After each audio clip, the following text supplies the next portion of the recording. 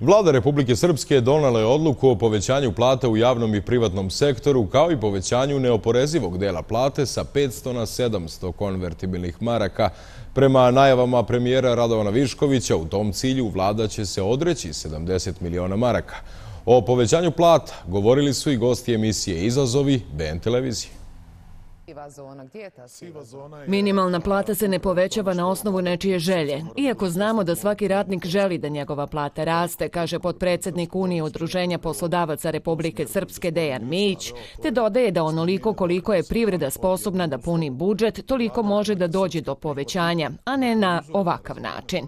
Mi smatramo da e, plate trebaju da rastu na određen način kako je to poslovna zajednica i Unija udruženja poslodavaca predlaže već duži niz godina, a to je prije svega rasterećenje e, privrede kroz smanjenje poreskih i drugih davanja. E, ovdje mislim i na doprinose koje se plaćaju na plate. Što se tiče najniže plate, mi moramo da kažemo da nismo zadovoljni na način kako je došlo do tog povećanja, jer je zakon o radu Republike Srpske jasno predvidio kako se to radi i na koji način. Zdravstveni radnici nisu zadovoljni najavljenim povećanjem od 5%. Mi ne smatramo da se moramo oduševljavati povećavanjem plate od 5%. To je za nas, s naše tačke gledišta, ponižavajući. Povećati platu i hvaliti se time da smo mi, da su oni izvojili, ili kako su rekli, ovaj, kako je rekli su da su, da su se odrekli, odrekli. 70 miliona, uh mhm. -huh. od tih 70 miliona jedno 20 miliona ide na zdravstvo. Zakon koji smo mi predlagali sa našom verzijom iznosi oko 23 miliona. miliona. 23 pa miliona. Dobro, ali znači, 3 miliona je mnogo, ali, gospodne Pa to je jedan dobar domaćin izbroj. Uh mhm. -huh. Dobar domaćin izbroj, a da bi se spasio zdravstveni sistem, pazite, vi ako ovako nastavite, kako su oni počeli, da nas ponižavajući oduševljavaju, mi ćemo imati kataklizmu u, u, u egzodusu i o prestanku rada zdravstvenih radnika. Prema svim analizama i procjenama, u Republici Srpskoj negdje oko 4 milijarde konvertibilnih maraka se vrti u sivoj zoni, rekao je Božo Marić.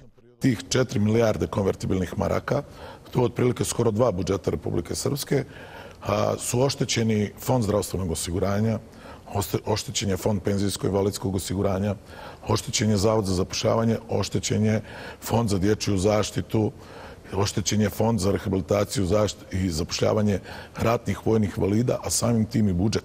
Što znači da bi mi u tim, no, u tim fondovima imali više sredstava za zdravstvene radnike, za zdravstvo, imali bi više novca da možemo da povećamo penzije, imali bi više novca da možemo radnicima u slučaju prestanka radnog odnosa da primaju veću naknadu i duži vremenski period, mogli bi da solidarno pomognemo poslovnoj zajednici u, u slučaju novih zapošljavanja i tako dalje. Neoporezivi dio plate za 500 biće povećan na 700 konvertibilnih maraka, na što je Mić rekao. U razgovorima smo prihvatili taj prijedlog kao dobar da se neoporezivi dio digne na 1000 maraka. Međutim, ja moram da kažem da je naše opredeljenje i naš prijedlog i dogovor i o tome imamo i potpisan memorandum sa vladom Republike Srpske je da se e, kompletna plata, odnosno primanja, rastereći u nekom, kroz poreska davanja. Ovdje prije svega, pored e, poreskog dijela, mislimo i na doprinose koje se plaćaju u, na plata. Postojeće plate se ne smiju smanjivati, a pravo na topli obrok i regres se mora vratiti za sve kategorije zaposlenog stanovništva u Republici Srpskoj. I to je ono za što će se sindikati zalagati, kako ne bi došlo do daljeg osipanja stanovništva, odlaskom i iseljenjem u druge zemlje, zaključili su gosti emisije Izazovi BN televizije.